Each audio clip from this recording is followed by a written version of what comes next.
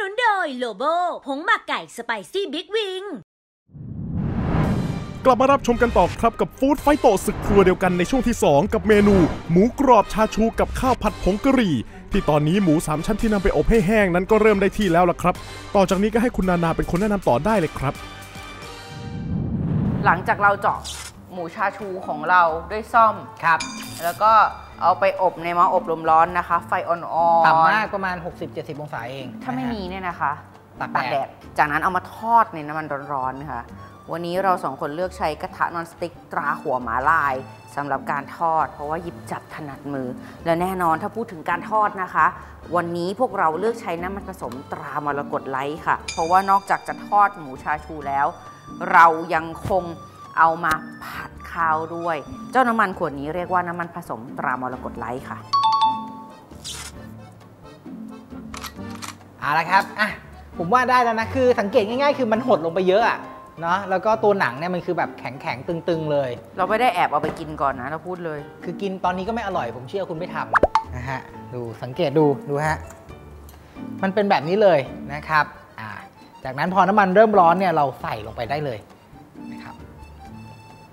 จากนั้นก็นำหมูสามชั้นที่อบเอาไว้ลงไปทอดในน้ำมัน โดยใช้ไฟปานกลางครับ ทอดจนกว่าหนังหมูจะสุกกรอบนั่นเองครับ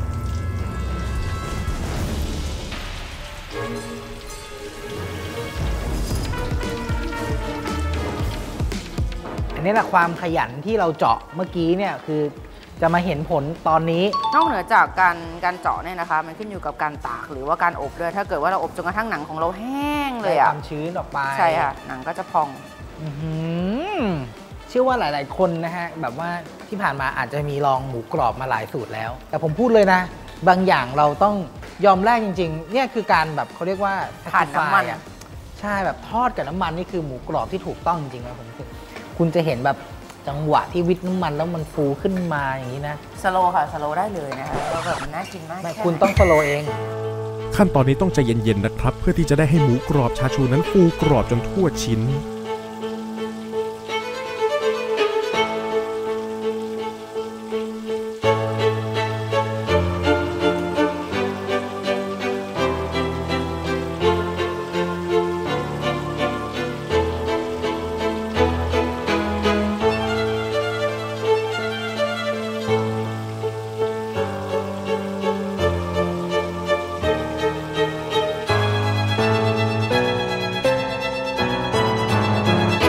ละครับ หมูกรอบชาชูของเรานะฮะ เรียกได้ว่าหนังเนี่ยฟูพองหมดแล้ว แล้วกรอบจริง ๆ นะครับ สีสัน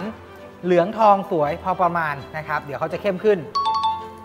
แล้วก็ยกลงพักน้ำมันเลยนี่นี่คือกรอบจริงๆอะ นี่คือจริงโอเค อะ เราจะพักทิ้งไว้นะคะ ๆอุ้ยไม่เอาเอาก่อนเลย มาโรยเกลือพอใจเย็นๆ อะนะ เราได้ของที่เห็นเสร็จแล้วน้ำลายวิ่งแล้ว เดี๋ยวเราผัดข้าวทานคู่กับหมูกรอบชาชูสักครู่เดียว อดใจกันไว้สักครู่นะฮะ กับหมูกรอบชาชูของเรา ระหว่างนี้ อันนี้อร่อยไม่แพ้กันนะครับ กับข้าวผัดผงกะหรี่ขั้นตอนการผัดนะครับ เมื่อกี้เราใช้น้ำมันขวดนี้ในการทอด อยากจะบอกว่าขวดนี้ก็ใช้ผัดได้เหมือนกันนะครับ ค่ะ กับน้ำมันผสมตรามรกตไลท์ครับ จะทอดจะผัดถูกใจไล่เลย ใช่โอเคจากนั้นนะครับผมจะใส่อ่าหอมหัวใหญ่จะขออนุญาตใส่หอมใหญ่ก่อนเพราะว่าเราอยากให้ชอบหอมส่วใหนญ่ตัวของมันพวกเราสองนุ่มๆคนหน่อยนะคือชอบกินหอมใหญ่ที่สุกแล้ว แล้วก็จะขออนุญาตผัดหอมใหญ่ให้หอมใหญ่แบบปุ๊บๆนิดนึงนะคะ แล้วเดี๋ยวค่อยเอามาทำกับข้าวเอาละครับ จากนั้นนะครับตามด้วยไข่ไก่ครับนี่เลยเนี่ยสะบัดเยอะไม่ร้อนเลย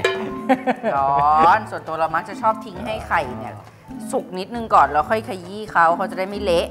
คือเราอยากให้ไข่ยังเป็นแบบชิ้นๆอยู่ เราก็จะทิ้งให้เขาเริ่มเกาะตัวกันก่อนแล้วเราค่อยเขย่าเขาออกมา แต่บางคนนี่เขาก็ชอบแบบเคลือบนะ อืมแล้วแต่คนแล้วแต่คน ตามด้วยข้าวสวยนะครับ แนะนำว่าเวลาจะทำข้าวผัดก็เป็นข้าวที่ค้างคืนก็ได้นะครับ หรือหุงแห้งหน่อยโอเคตามด้วยนี่เลยครับซอสปรุงสำเร็จนะครับ ผัดผงกะหรี่ตราโลโบครับ หลายคนแบบหูข้าวผัดผงกะหรี่ทำยากนะ ต้องมีเครื่องเทศหลายอย่างไม่ต้องเลย ผมบอกเลยว่า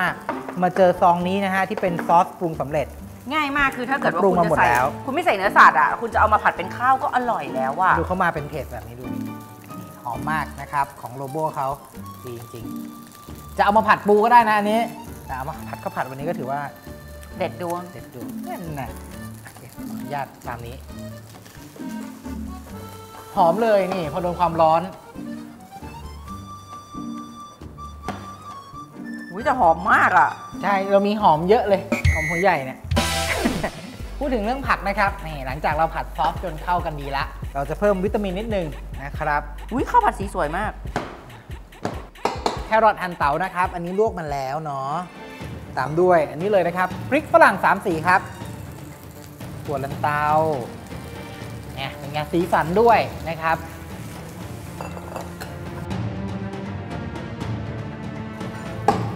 ข้าวผัดเรียบร้อยนะครับ เดี๋ยวเราจะครดนะฮะแล้วก็กดใส่จานเสิร์ฟแต่ว่าอันนี้ทำไมผมไม่ได้ทำสิ่งนั้นเนี่ยคุณทำว่าแค่ผมได้จับผมก็มีความสุขแล้วอะ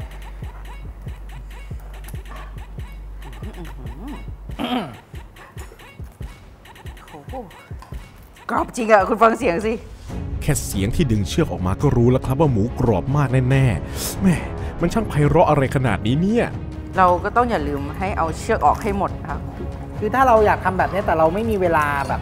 มาทอดอะในวันนั้นเราเก็บในขั้นตอนไหนได้บ้าง หลังจากผึ่งแล้วหรือผึ่งเอาไปอบไฟอ่อนแล้ว ไม่ไม่ก็บด้เราไม่ต้องอบไฟอ่อนเลยเราใส่ในตู้เย็นโดยที่เราไม่ต้องปิดฝาหรืออะไรว่างไว้ได้เลยเทดดี้เขาก็จะกรอบแบบอย่างนี้เหมือนกันเหมือนกับที่เราเอาไปใส่ในหม้ออบลมร้อนอะแบบเดียวกันเลยเทดดี้อยากได้หนาหรือบางคะ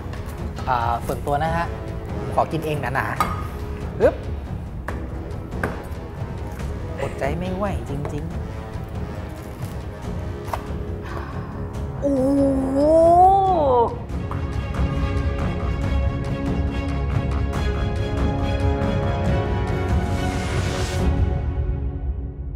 น่ากินมากอะคือแค่นี้ก็เพียงพอแล้ว ดูดิๆเหมือนข้าวที่เราทำเนี่ย เป็นแค่ฐานวางของหมูกรอบ หมูกรอบชาชูกับข้าวผัดผงกะหรี่เรียบร้อยแล้วครัค่ะบผมน่ากินจริงทำไมปะๆ เฮ้ย จะดีเหรอทำไมหั่นบางจังอะ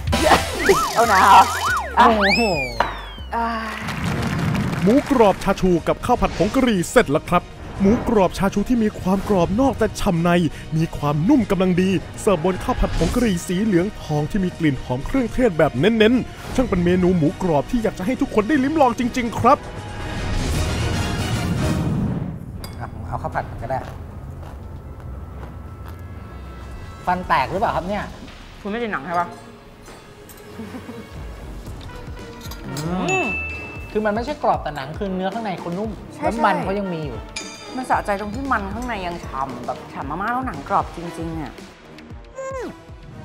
วันนี้เรามีเมนูซี่โครงหมูบาร์บีคิวเปรี้ยวหวาน จากน้ำมะขามเปียกเข้มข้นตราเนเจอร์เทส มาฝากค่ะ ใส่น้ำมันพืชลงในภาชนะนำขึ้นตั้งไฟพอร้อน ใส่กระเทียมสับ หอมหัวใหญ่สับละเอียด และพริกหวานสีแดงสับละเอียด ผัดจนมีกลิ่นหอม ปรุงรสด้วยซอสมะเขือเทศ ซอสพริก น้ำตาลทรายแดง เกลือป่นเสริมไอโอดีน พริกไทยดำป่น และน้ำมะขามเปียกเข้มข้นตราเนเจอร์เทส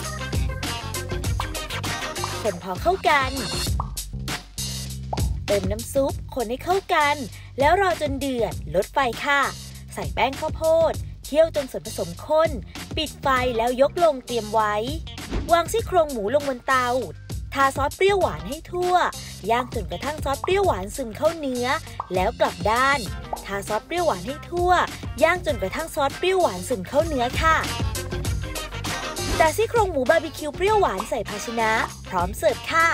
ครั้งหน้าน้ำมะขามเปียกเข้มข้นตราเนเจอร์เทส จะมีเมนูใดมาฝากคุณผู้ชม ก็ต้องรอติดตามกันนะคะ